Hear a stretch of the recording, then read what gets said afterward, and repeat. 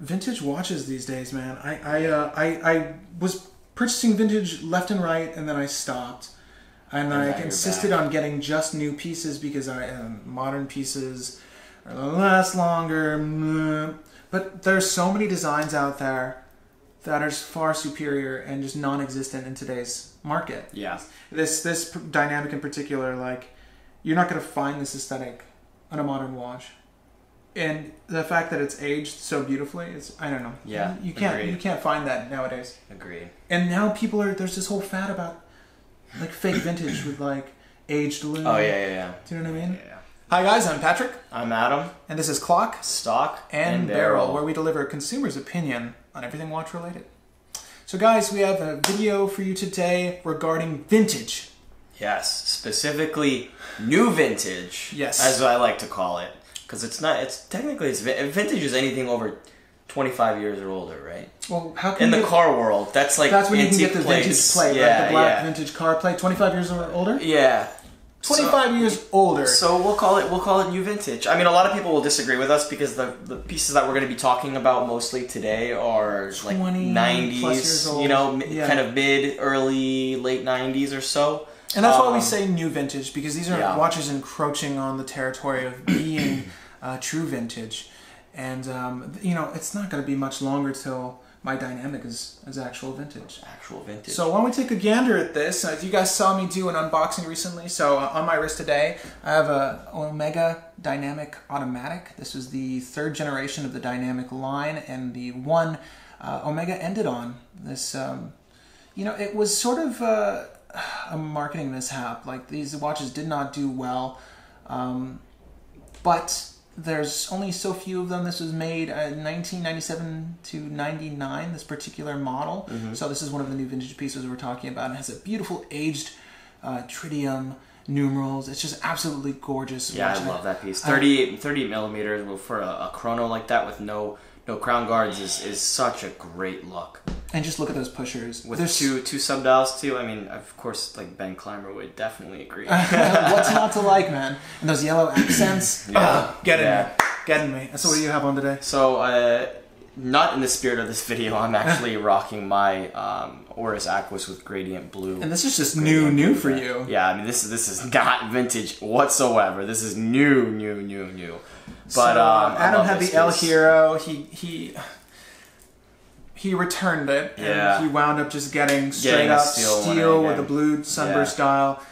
It We'll was do a right review. choice. We'll do a review and kind of talk about it. we might touch on, you know, as you can tell if you've watched our videos before, we're very much fans of Oris, so Yeah. we'll definitely touch back on that later. But But guys, the kind of the point of this video really is we kind of want to address the sweet spot in vintage, or Mm-hmm. at least the sweet spot that I found and that you have found too with Yes. this piece and with your old Omega, and that is watches from we're talking like high high end watches, like Yes. luxury pieces, Omega, Rolex, in the 90s. Mm-hmm. So this is like kind of you know we're talking pre ceramic era, we're talking post crazy prices for Rolex, we're talking post 1016 Explorers, which you know are eight, nine, ten thousand for great examples already now, right? We're talking post 50, 5513 subs, which go, which have a crazy premiums, premium as well.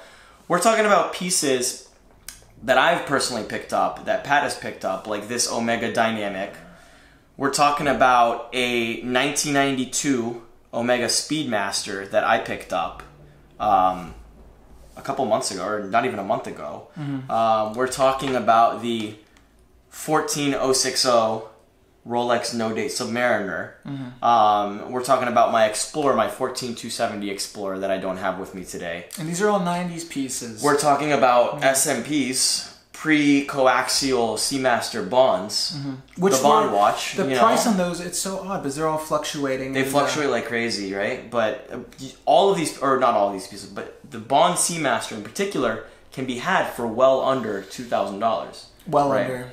And you have and you have a piece that's like an icon, a true icon in in the watch world, and something that's I mean it's just really cool to be able to like look at that and own one, you know. And the and what But are the, C, the Seamasters now are retailing for you know high threes like four or something. I think you can get them maybe on the pre-used market for a little under three. Yeah. But that's that's still kind of getting up. The lowest there, I've you seen know. is ceramic Seamasters, maybe 2.5. Yeah. And you know, and guys, I know some people swear by by buying new, um, but there's not only is this new vintage market ripe with deals, it's also ripe with quality watches. Exactly. Those pre-ceramic um, SMPs, the the reference uh, that eludes me now, but it's the four liner. This is not the Daniel Craig Bond Seamaster. Those are also um, like aluminum inserts. Uh, this is the You're talking about the, the first batch of coaxials with the red le- with the red letters. yeah, and those coaxial movements are kind of a kind of a bust, from what I understand. They weren't Yeah, the well, it- yeah, the coaxial. I mean, the coaxial movement in general.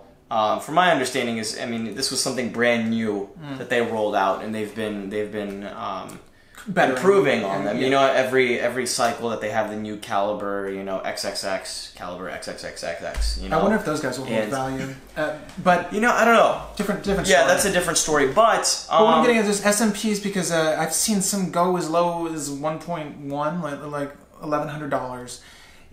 You know, maybe Yeah. not the best condition, maybe not the box and papers. You're definitely gonna want to take it to someone to fix it up. But if you love your watches like we do, that's no big issue. You're gonna want to get it regulated and cleaned anyways. Yeah. So why don't we start with a new acquisition? And this is uh, Adam Sub. Yeah, so we'll kind of talk about this one a little bit. Um, this is another perfect example of a watch that is in the sweet spot right now. So, as you guys know, the Rolex Submariners, they hold, steel Rolex Submariners hold their value like no other watch on the planet. I mean, you, if you buy right, you will not lose money on this. It's owning one of these is basically like owning a blue chip stock or like a government bond, you know? Like, Yeah.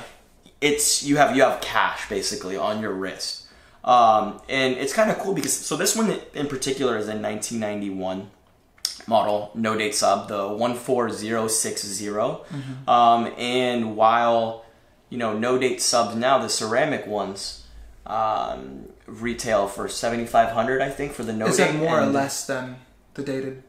it's the the no date is less the Okay. the date one i believe retails for $8300 Okay. um, and these 14060s, if you go on the used market, well, you're going to have to go on the used market, you can find these guys for anywhere from four to five thousand dollars. With bracelet? Uh, yes, with bracelet. So I got mine from a very well-known vintage dealer, head only, because I'm not a huge fan of bracelets uh, unless the piece is right.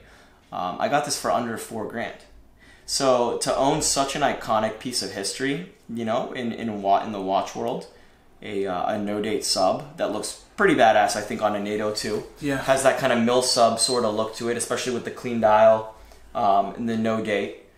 Uh, under four thousand, you can have a really iconic piece, and it's really cool. It, it has a little bit of that vintage charm already, still, even though it's it's a '90s piece because it's pre-ceramic, and Rolex is not going back to aluminum bezel, bezel inserts. Definitely. You know, ceramic. They're, they're ceramic is here to stay. Unless it's some sort of special edition, but they hardly do that. Right, so- exactly. Yeah. So I mean, we have this one. The other cool thing, um, I mean, another Rolex that I have too, the 14270 Explorer, uh, the 36 millimeter Explorer One.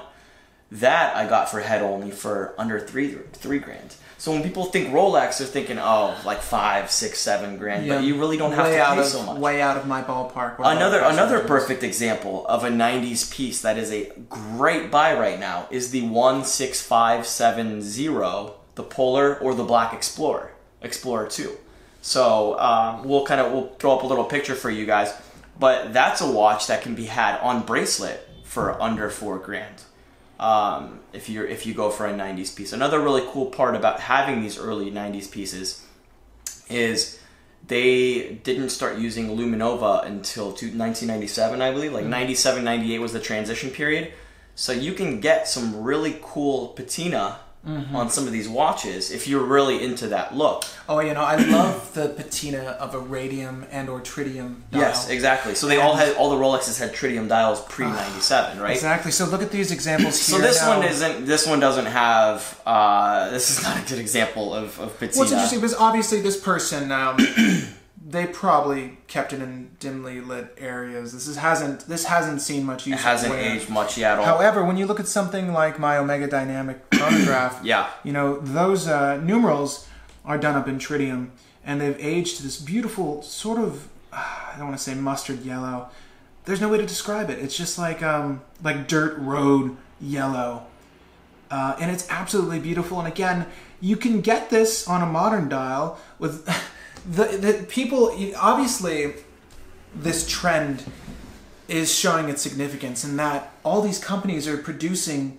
superluminova that looks aged Yeah. because they want to steal thunder Yep. from new vintage and vintage pieces because people love that look. They're kind of riding the bandwagon too. You Yeah, know? they know and you know, there's there's no other way to reproduce that look unless you fake it. Yeah. Um, and I I love it. I admire it. And people are concerned about how those things will age. Um, but I know how my Omega's aged. Like when I found this, it, it came like this, and that's because it's you know nearly as old as me. It's And guys, for this dynamic chronograph, we're talking about a watch that's right around a thousand bucks. So you Yeah. get that awesome, cool vintage vibe from a piece that's uh, it's 20 years old now, but Oh, yeah. so it's not it's not you know really vintage yet, but it's gonna it's getting there, and the patina's there. And that's one thing to note too is the Rolex is I don't know it has something to do with the um, I guess the the tritium or the the lume that they use. Some of the Rolex um, markers don't age as quickly, but it almost seems like every Omega from the early '90s gets this really like yellowy, like mustardy, Beautiful, mustardy yeah. lume, and you guys can see that on my 1992 um, Omega Speedmaster Moonwatch. Um, so this is a reference 3590. Um, the most recent ones in the 2000s were uh, called the 3570, and now it's it's like a super long reference for that big box Speedmaster. But this is essentially the same watch, and I had a, a big box Seamaster Yes. or Speedmaster, Yeah. and I sold it because I used it as you know a trade bait for for uh, the GMT that I had back in the day. Um, and once I sold that, I knew that I was gonna want a Speedmaster again. But I knew I was like, I really want something with some really freaking sweet uh, patina on it. So I went for an early '90s. Um, so, so, a really nice close up for you guys to have patina. that also was under three grand.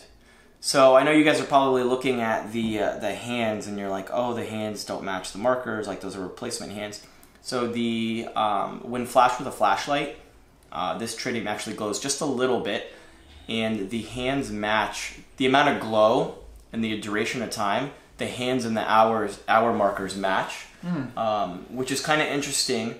And I've read and seen from multiple people that for some reason the uh, the lume used on the Speedy's hands doesn't age the same way as the markers do. So that that is in fact the or, those are the original hands, and you guys can kind of see um, when Pat puts this up on the uh, on the camera that there is a little bit of aging on that chronograph hand. You'll see kind of like a dull yellow, but um, it's not as dark as the hour markers. But they are in fact original. Yeah, So- but you also see that on this example here too. Um, it's interesting because these watches were made almost about the same time frame. Just but a the, five year separation. the lume on those sword hands on this dynamic, uh, I know they, they show a little bit more aging, but they're actually lighter in tone than the dial itself, and that might just be how Omega lumed back then. I'm not certain as to why that's the case, um, but you know, you get these marvelous deals on these vintage watches again on designs that are no longer available and or are classics and you're getting them for what I consider a very reasonable price. Yeah. Uh, particularly when you, you, you look at it from the standpoint of you're you're making an investment. You know, when you spend this much on a watch, it's yes, you want the enjoyment, and yes, you want the thrill of wearing uh, something you know not only iconic but just masterfully crafted. Um, but you're getting that in a package that's you know you got this with the bracelet at a really really great rate. Yep. And and less than you could for you know a modern a Speedmaster. Yeah, And to me, less. with something with a lot more character, it has Hesalite crystal. Now my dynamic uses sapphire, but uh, you can tell uh, from the close-ups earlier that this, you know, this Speedy is scuffed up. It, it shows wear, but those characteristics are actually really favorable in vintage, at least for collectors like us. You know, I love seeing that. And what's nice about Hesalite is you can buff that out. You know, it's not a big deal. Whereas finding a replacement sapphire might be a different story, but Right. Yeah, Yeah, and I mean, so basically, what we're just trying to tell you guys is is do your research on some of the cool '90s models because you can get that vintage look Without um, getting without a that reproduced, crazy, yeah. without getting a reproduced uh, piece, or getting that that getting into those crazy, crazy vintage prices of Oh. watches in the '70s and Very true. you know, Yeah. So because this this watch this moon watch that I have, um, you go up to some of the other Speedmasters from kind of the early '70s and late '60s, you know, with uh, with some of the pre-moon watches and then the the '70s one four five uh, 022s, and we're starting to get pretty pretty up in prices with the three two one Lemanias and all that. Um, And this has that vintage look, but it doesn't command that vintage premium price, you know. Yeah, so, if you're looking into new vintage, this is a great way to invest in something that's going to both age beautifully and maintain value, at least in our humble opinion. And in our experience, Rolex and Omega have been the, the best kind of values relative to current Yes. prices of some of the newer pieces and the old, old vintage pieces. And of course, yeah, I mean, there's plenty of other brands you can look into. So, guys, of course, um, you'll notice uh, only two names are really featured here Omega and Rolex. Um, when we look at new vintage, we're, we're coming at it from the angle of an investment standpoint. Um, just as consumers, particularly also, uh, I, I, I really do love and prefer these brands because the craftsmanship is top notch, that uh, the movements are unique. Um, also, you know, the finish is second to none, really. When, Yeah. when you when you're buying from such a big name, you kind of expect quality, and back then, uh, such was the case. But um, guys, if you have some new vintage that you adore, any watches from the '90s, share those with us. I'd love to see what you guys are collecting, because you know, I bet you there are watches more affordable than Omega that you can get with the same aesthetic, Right. and also a beautiful fade on the, that that lume. You know, and I, I actually had a '60s, I'm sorry, early early to late 50s Tudor. Um, I believe with that with the Bombay lugs that had a beautifully aged radium dial and handset, and I wound up getting that. Uh, I'm not going to say the exact price, but I got it well under seven hundred dollars. You know, and that was using a, a Rolex Caliber 59. This was back in the days when there was little disparity between Tudor and Rolex, aside from the case designer, because Tudor Right. used a lot of uh, Rolex movements back then, and those movements were outsourced anyways. Um, because Rolex used to only make cases, but you can find really great deals, uh, vintage, vintage, true vintage, but also in the uh, new vintage category. So, gang, thank you for joining us again on another video. If you liked it, feel free to hit that like button. If you disliked it, that's okay too. If you want to see more content like this, feel free to hit the subscribe button. We put videos out twice a week, so you can come to enjoy those if you're a regular with us. Anyway, gang, thank you so much for joining us. Please leave comments down below uh, with any uh, new vintage that you collect and or like. Um, you can also follow us on Instagram and uh, hashtag ClockStockBarrel to share your new vintage pieces. I'd love to see what you guys have on the wrist. Um, I'm obsessed with this Speedmaster. I really want one. if you have some, feel free to share them on there because I just want to see more Speedies. I, I you know it's funny, this Speedy craze is sort of picking up these days in recent Yeah. year, and uh, I understand it now. There's I another one too. now. Some of the some of the speedy reduced and some of the Yeah. other some of the other like 38 millimeter Speedmaster dates. Um, I had a reverse Panda Speedy that I got for under fifteen hundred dollars. So you know, and this the, the reference was 3511.50, so you guys can look that up. Um, there's another perfect example of a really cool vintage Omega that also had had some uh, some patina on it. That was under fifteen hundred bucks and a, and a great watch too. So, So, guys, it's out there. You know, this new vintage is out there, and now is definitely a time to buy uh, if you're interested. Anyway, guys, thank you for joining us. We'll see you on the next one.